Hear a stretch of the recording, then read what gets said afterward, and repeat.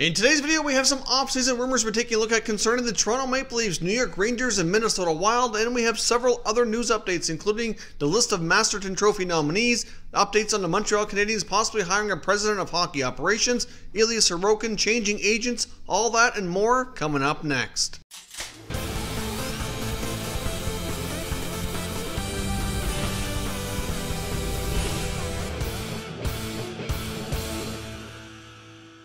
So welcome back to another video here at Top Shelf Hockey. Now, as I mentioned, we have a variety of news updates and some offseason rumors to take a look at today. So let's dive right in because we have a lot to cover today. Now, first up, I want to start with Ilya Sorokin, the potential goalie of the future for the New York Islanders, who's been uh, playing in the KHL for the last number of years, been rumored to coming over and signing with the Islanders. Uh, there's been some talk lately that he may stay in the KHL for another season. Obviously, a lot of that has to do with the fact that the NHL season is on pause right now. Not quite clear when he'll be able to play. And there's also been some talk, obviously, with the NHL changing uh, some rules around player signings that even if some of these teams sign some of their prospects coming over from that league, that they may, may not be able to participate in the uh, finish of the 1920 season once games hopefully resume later this summer. Uh, so if Sorokin can't play and that's pushed back to 2020, 2021, then there's a pretty good chance he'll stay over in the KHL another year. Now, the latest update is that he's changed his North American agent. Uh, he's now under Dan Milstein, who really seems to have the market on a lot of uh, top Russian prospects, a lot of Russian players that seem to work with Milstein and getting their NHL contracts. Uh, so hopefully that's a positive sign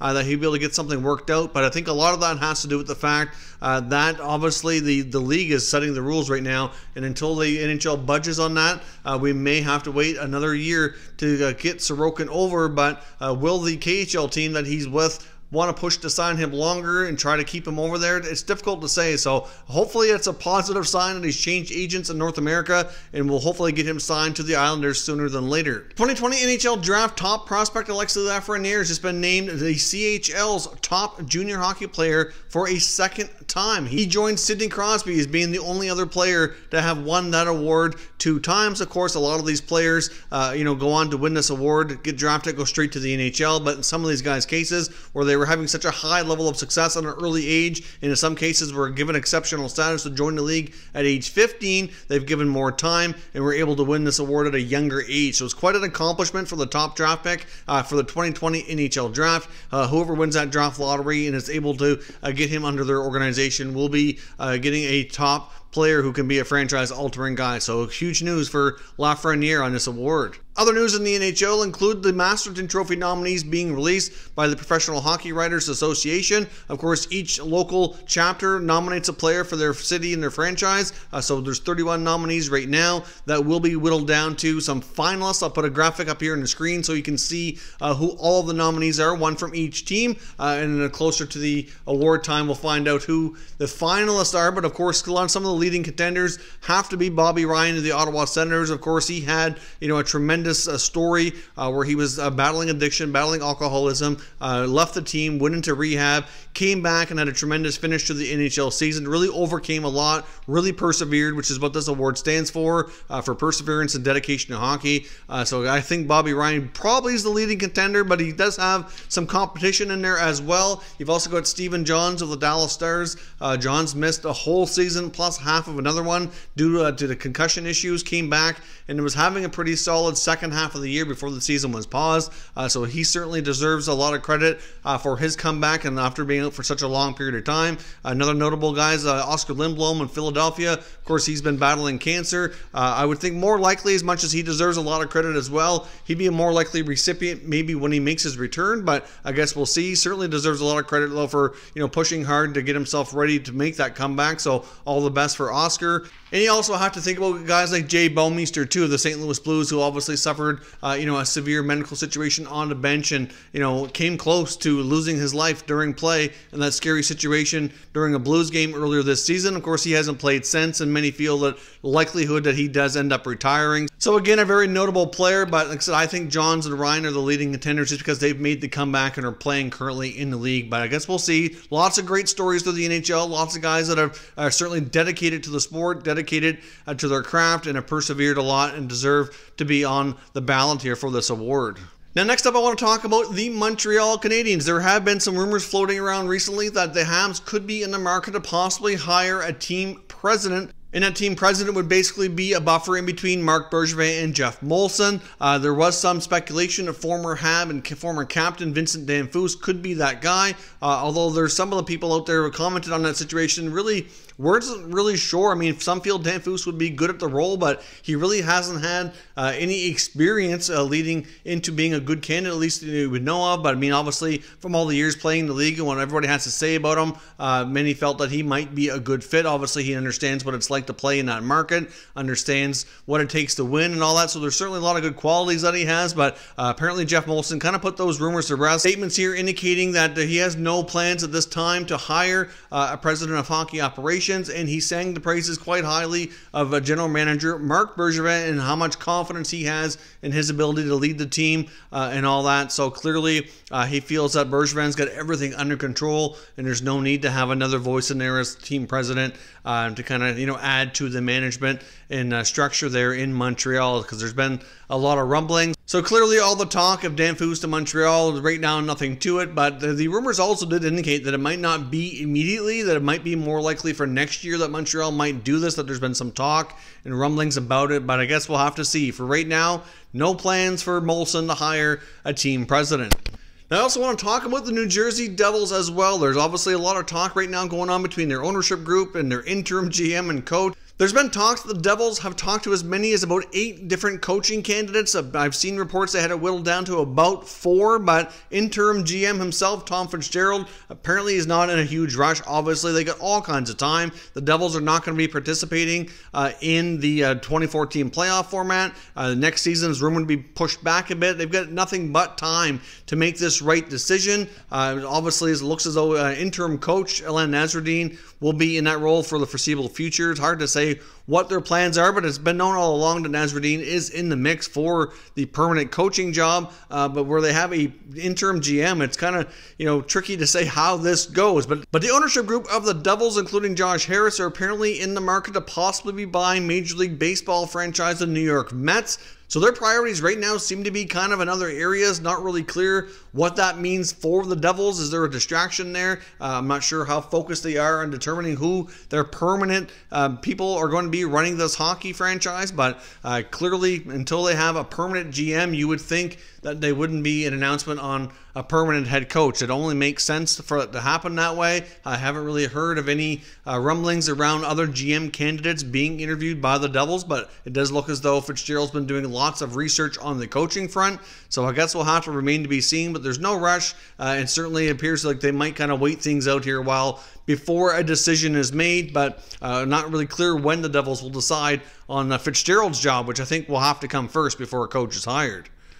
Now, as I mentioned as well, I want to take a look at some offseason rumblings regarding a few NHL teams. Let's kick things off with the Minnesota Wild and New York Rangers. A mailbag article in the New York Post asking Larry Brooks if he felt the Rangers would be a good candidate to go after and trade with Minnesota for defenseman Jonas Brodin. As we know, the Wild have been rumored to be moving a defenseman, likely either Brodin or Dumba. That's been in the rumor mill for some time. Uh, the uh, Wild are desperately in search for a top two center iceman. Bill Guerin has made that clear. That's one of his top priorities is to add a top six forward and preferably a top center, which is no easy task to do. And he's going to have to trade some value to get value in return, and that one of his top defensemen might have to go in order to facilitate that trade. Now, of course, it's not quite clear if that was the case, who they would want back from the Rangers. Uh, the Rangers are well stocked in that department. They have a lot of offensive type players. They have a pretty good prospect pool right now with lots of good young players who might be a good fit in Minnesota, but not really clear exactly who they'd be targeting. Uh, but with the moves that the Rangers had to make on their blue line, trading Brady Skjei and others,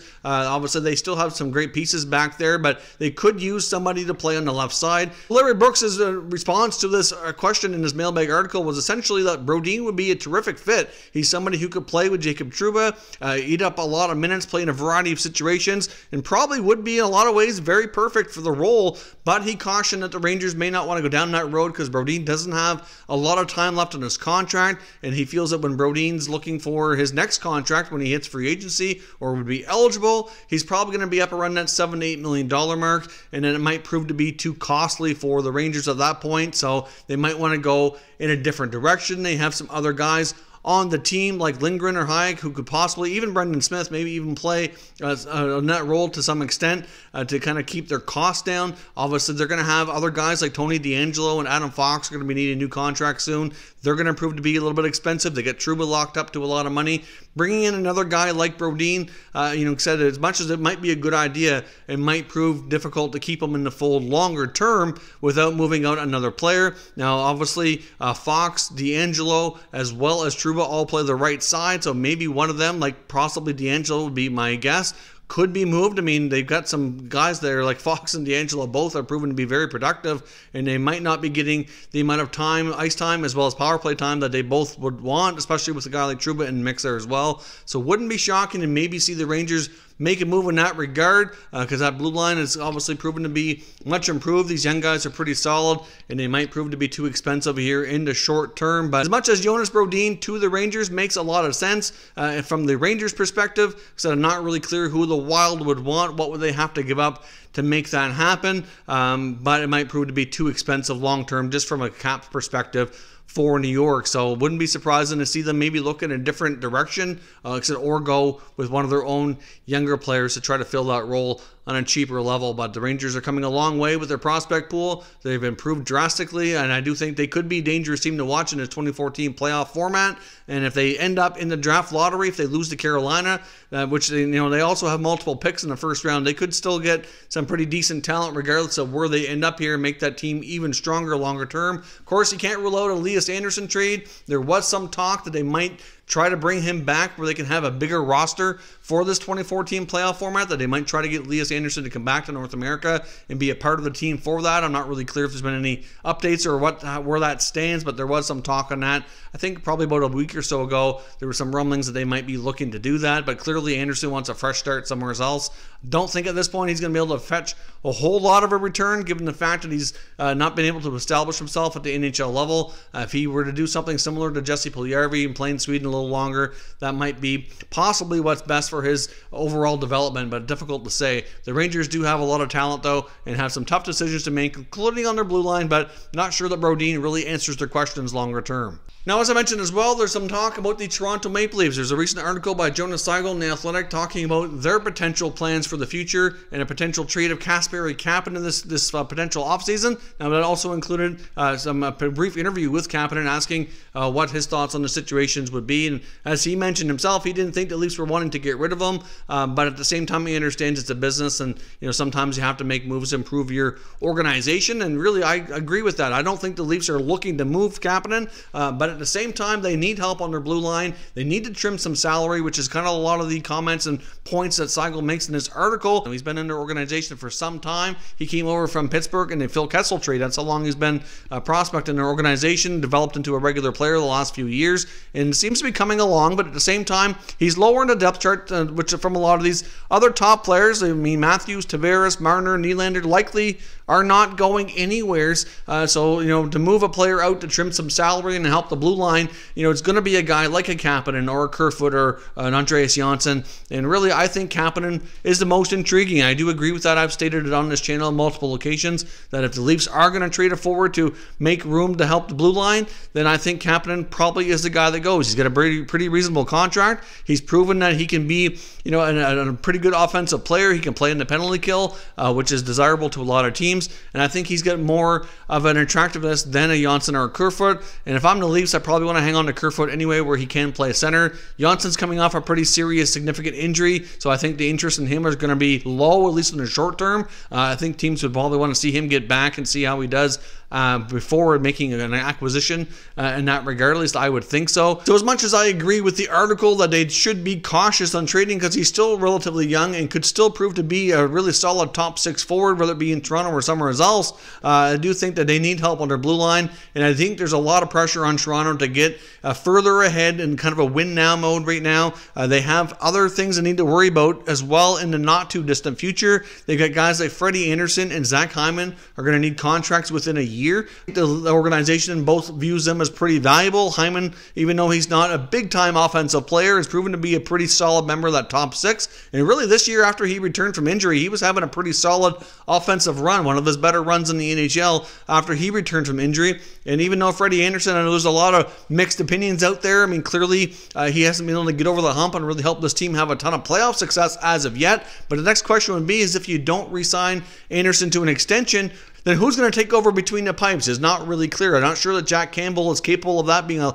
a long term starter. They don't really have a, a ton of other goalie prospects ready right now. They do have some interesting prospects, I'll give them that, but they're not really, you know, at the point where they appear to be NHL ready yet either. So, not really clear what they would do uh, in that regard, uh, and not really clear exactly what Andersen's going to want for a contract, but it's possible that that contract could be pretty tricky. And not only are those two guys going to be needing new deals, but in two years' time, Morgan Rielly's contract is up, and clearly he's their top top defenseman. They're going to want to extend him too. And if we have a flat salary cap for a few years, which is something that is very, very possible, that's really going to make things difficult for a team like Toronto to get all these players under contract. Because uh, clearly, when a lot of these big time deals were signed, we know that they factor in a lot of future projections and cap increases and things like that, determining how they can afford to keep everybody. And that's really going to throw a, a big time curveball at them to help make that happen. So some players are likely going to have to unfortunately leave town to make it all work. And some reasonable contracts like Kapanen would be easier to move and still have value. Would make a lot of sense to be able to do that.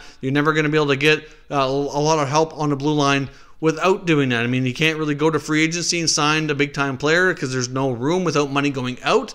And obviously, He's a prime candidate. So I do agree with the sentiment from the article that the Leafs need to be careful. They shouldn't give up on a young player like him too soon. But at the same time, I do think if they're going to really try and push hard to win a Stanley Cup in the next couple years, they need help on that blue line. That's obvious. And they have some other contracts here that are going to prove to be probably a little bit more higher priority to get signed than a guy like Kapanen, that he might have to be the guy to go if he can bring back the right return. But we'll see. I know Kyle Dubas is pretty smart at his job, and I'm sure that uh, he's analyzing these situations to determine how he can best get this team ready for a potential cup run here in the near future. So we'll have to be remain to be seen. But in your opinion, the Leafs need help on the blue line. I think we can all agree on that. That's pretty obvious. Is Kapanen the guy to go to make that happen? Or what do you think they should do in order to be able to make it work with their tight cap situation? Let me know your thoughts down below in the comments and we'll continue the conversation. If you're new to the channel, consider subscribing and turning on your notifications so you don't miss any future content and give this video a thumbs up if you enjoyed it. I'd appreciate it if you did.